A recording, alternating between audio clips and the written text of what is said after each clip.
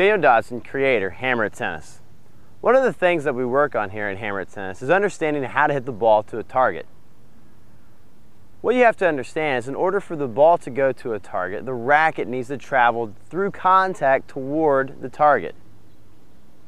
If the racket's traveling a different direction through contact, it's going to be hard to get it to go to your target. We use the doubles line and singles lines a lot of times during our training to help us understand what we call target line. That's the line from us to the target. If my racket doesn't travel down the target line through contact, it's going to be hard to get the ball to go there. The result is an inconsistent shot, a pulled shot, a shank, and miss hit. If you watch high level players through the contact point, the racket's traveling toward the target.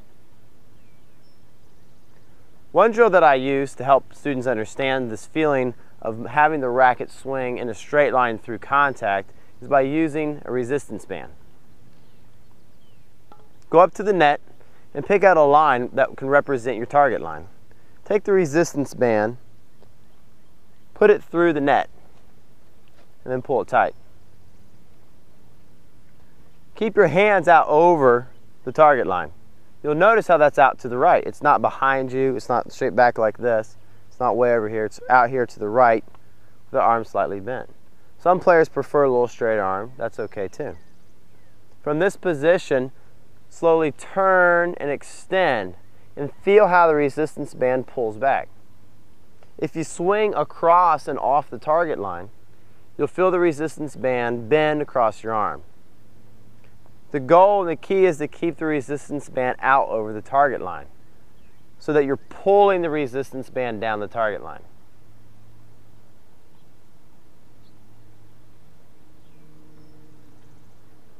After you've done this a time or two, put the resistance band on your racket. Put the handle through the throat, pull the band, and then put the grip of the racket through the handle of the resistance band and pull it tight.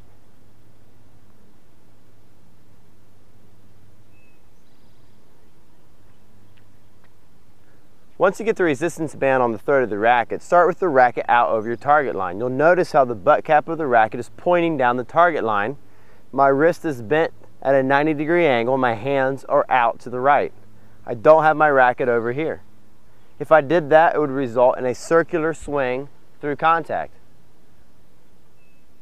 Start with the racket on the target line, pull the grip to contact point. By doing this, you should feel the tension in your wrist and how the racket's ready to leverage into the ball.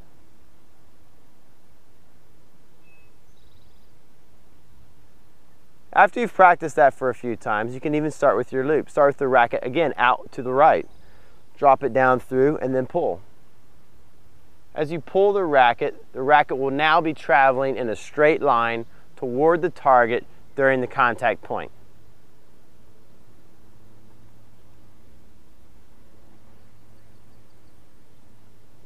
Having your racket travel in a straight line through contact is the key to getting the ball to go in a straight line to your target. For more in-depth lessons and other things related to tennis, be sure to check out hammerittennis.com.